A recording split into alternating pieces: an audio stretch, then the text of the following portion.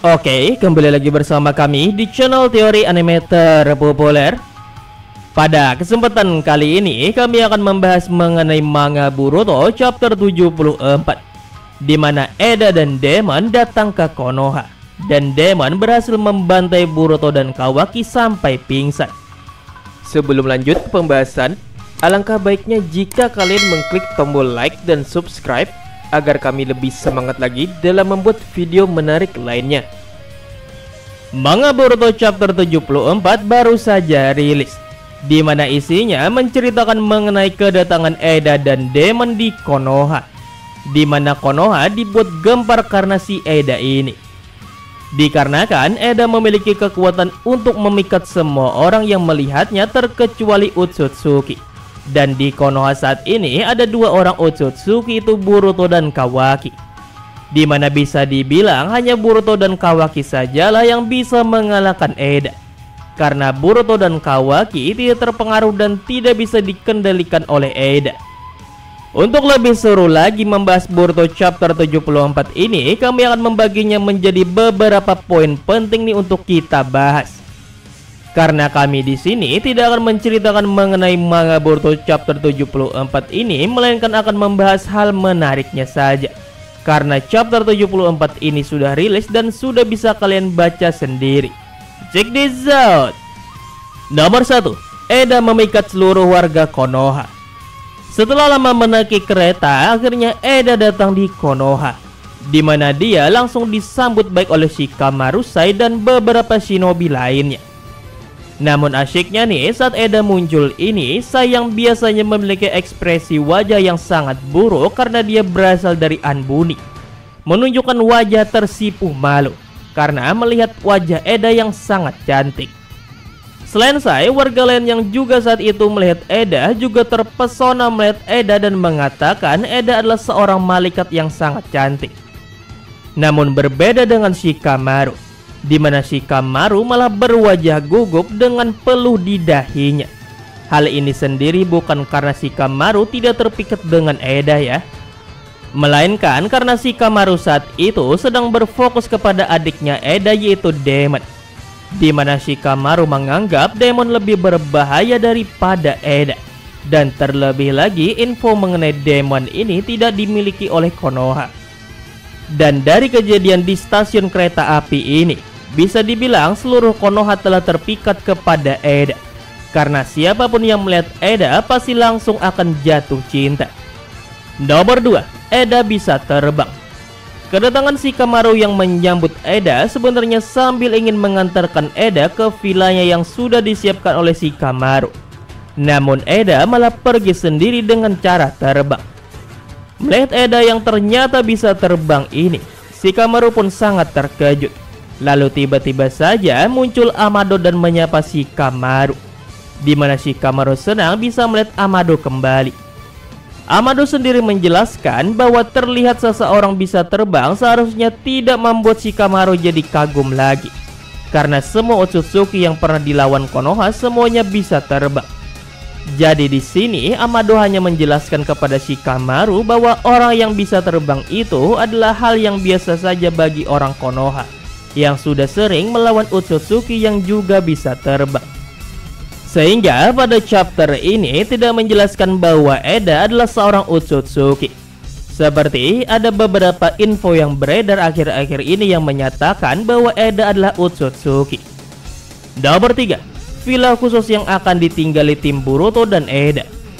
Mengetahui Eda dan Demon akan tinggal di Konoha, Shikamaru akhirnya menyiapkan sebuah tempat untuk Eda dan Demon tinggal dan di sana di mana tempat ini adalah sebuah villa besar yang berada di sebuah perbukitan.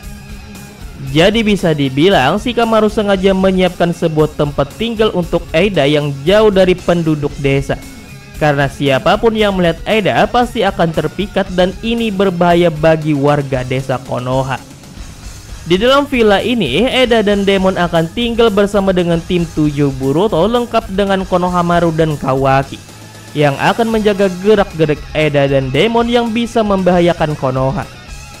Selain itu pun untuk berjaga-jaga, tim sensor Konoha yang terdiri dari klan Yamanaka juga selalu bersiaga untuk mempermudah komunikasi yang tidak bisa diketahui oleh Eda dengan sentensi ninjutsu. Sehingga jika terjadi sesuatu, Boruto bisa berbicara dengan siapa pun tanpa ketahuan oleh kekuatan mata Senregennya Eda, yaitu dengan jutsu telepati milik klan Yamanaka. Nomor 4, Momoshiki muncul lagi. Jika sebelumnya Momoshiki muncul menempel di samping tubuh Boruto dan bisa dilihat oleh Kawaki serta dirasakan oleh Sasuke saja, maka pada chapter ini Momoshiki ternyata juga muncul lagi dan dilihat Kawaki. Dari beberapa kali kemunculan Momoshiki yang seperti menempel dengan Boruto ini, sepertinya Momoshiki ini sedang melakukan sesuatu deh. Yang bisa saja adalah rencana untuk mengambil alih tubuhnya Boruto. Dikarenakan Momoshiki sudah kehilangan cara untuk bereinkarnasi kembali karena segel karmanya sudah tidak utuh lagi demi menghidupkan Boruto kembali. Nomor 6. Demon membantai Boruto dan Kawaki Utsutsuki. Awal kedatangannya, Demon langsung berada di atas bahu Boruto sambil mengatakan, Kau adalah Utsutsuki Uzumaki Boruto. Apa kau mau membunuh kakakku? Sini aku beri pelajaran dulu. Melihat hal ini, Kawaki langsung panas dan mengubah tangannya untuk menyerang Demon. Namun Kawaki malah terpental seperti terkena serangannya sendiri. Kawaki akhirnya mulai serius dan mengaktifkan Daikukotennya dan menembakkan lima batang hitam seperti milik Ishiki. Dan asyiknya, Demon bisa dengan mudah menangkap lima batang hitam ini. Padahal tembakan batang hitam ini sangat cepat secepat cahaya. Bahkan mata Renegan dan saringannya Sasuke saja tidak bisa melihatnya dan menghindari. Dan hanya mode Baryo Naruto saja yang bisa. Dan karena melihat hal ini, banyak para penontonnya berkomentar bahwa kekuatan demon ini tidak masuk akal dan terlalu melebih-lebihkan. Sebenarnya kekuatan demon ini tidak dilebihkan ya, namun kalian harus ingat bahwa demon memang diciptakan untuk melawan Jigen atau Ishiki Utsutsuki. Sehingga jelas jutsu-jutsu Ishiki tidak akan mempan kepada demon. Dan setelah menangkap batang hitam Kawaki ini, Demon langsung berteleport dan menendang Boruto dan Kawaki sampai keduanya jadi pingsan. Di mana kedua Otsutsuki Konoha ini kalah telak. Nomor 7. Rapat Amado Naruto Shikamaru soal Demon. Pada halaman terakhir chapter ini, Shikamaru Naruto dan Amado akan memulai sebuah rapat di mana Amado akan menjelaskan soal Demon dan identitas asli Demon akan terungkap di chapter selanjutnya. Nah itulah pembahasan kami nih mengenai uh, re Burut review Boruto chapter 74 Di mana pada chapter ini nih membahas mengenai Eda yang datang di Konoha. Di mana sebelumnya banyak beredar info bahwa uh, mengatakan bahwa Eda adalah seorang Utsutsuki. Namun ternyata di sini Amado sendiri hanya uh, menyamakan saja gaya terbangnya Eda dengan para Utsutsuki yang sangat sering dilihat oleh shinobi Konoha. Di mana Konoha sendiri sangat sering diserang oleh para Utsutsuki, misalkan ada ada Momoshiki, Urashiki, bahkan Ishiki Utsutsuki. Jadi bagaimana menurut kalian ya guys mengenai Boruto chapter 74 ini? Di mana sampai sekarang ya uh, masih tidak ada hal yang menggebrak dari manga Boruto ini setelah kejadian uh, Boruto mati. Apalagi uh, setelah uh, kematian dari Kurama. Di mana dulu saja saat kematian Kurama, anime Boruto, uh, manga Boruto ini menjadi terus-menerus menjadi nomor satu ya guys ya. Dan sekarang uh, sudah tidak nomor satu lagi. Dan apakah nih uh, Kishimoto Sensei akan menggebrak lagi nantinya dengan sebuah hal yang mengejutkan lagi.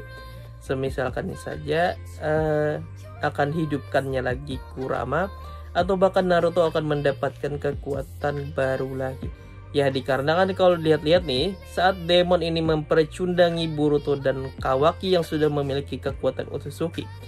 Ada opini di sini bahwa yang mengalahkan demon ini dan Eda ini mungkin adalah Naruto dengan kekuatan barunya. Jadi bagaimana menurut kalian tentang manga Boruto chapter 74 nih? Tulis jawaban kalian di kolom komentar di bawah ya. Eh, terima kasih telah menonton. Sampai bertemu kembali di video selanjutnya. Bye-bye.